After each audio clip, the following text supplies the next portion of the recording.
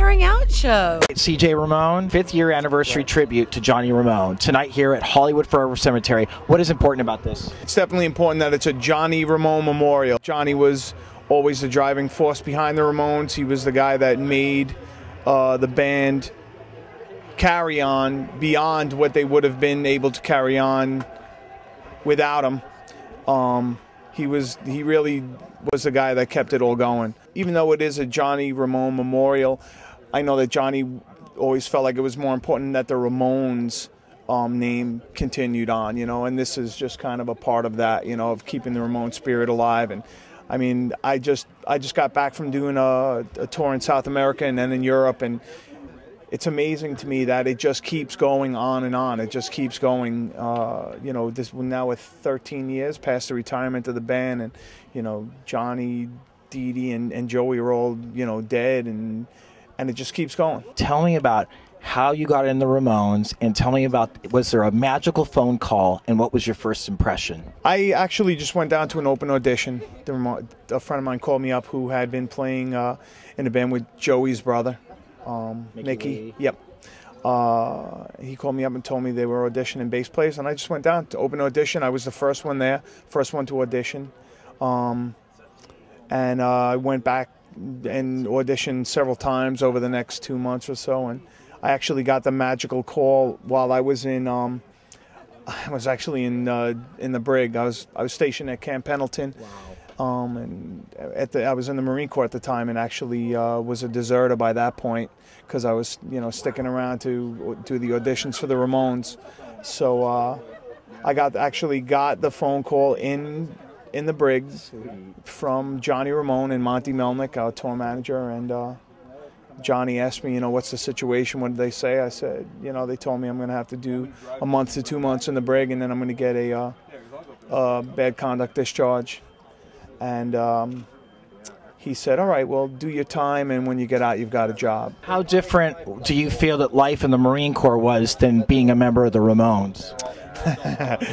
I, it, you know, the Marine Corps, of course, is uh, unbelievably way more tougher, but um, the lifestyle itself is is uh, pretty comparable.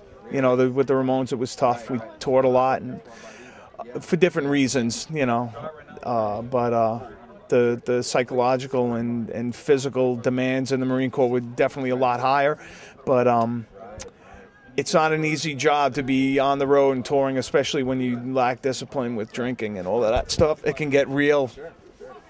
It can get real difficult. What did you learn about yourself being in the Ramones? That I can drink a fuck of a lot of alcohol and still get on stage and play. No, I, that's a joke because I mean Johnny ran, ran a tight ship. We were not allowed to drink or party or anything before we went on stage.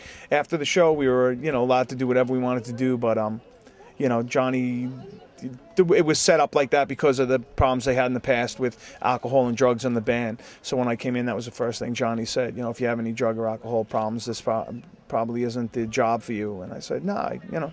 I have discipline. I was in the Marine Corps, so I was obviously disciplined. Yeah. I, I realized that I'm capable of a lot more than I ever thought I was. You know, that was that was one cool thing about it. You know, uh, I don't. Uh, I'm not haunted by self doubt or like I used to be or anything like that. Now I realize that you know the best thing you can do is put yourself in a bad situation and see how it wor- works out because most people don't even realize what they're really capable of. I'm just lucky enough to have been put into a situation where it was I'm getting on stage in front of thousands of people. You know what I mean? And that's it, you know, and if you got it, two highlights from your time with the Ramones?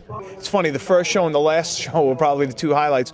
But um, when Lemmy came up to do the song Ramones with us and playing next to him and, and singing harmonies with him and stuff, that was probably probably the second biggest highlight. I love this event. Linda Ramone, you know, she really works hard on it, and you know, every year she really does her best to put together the best event she possibly can.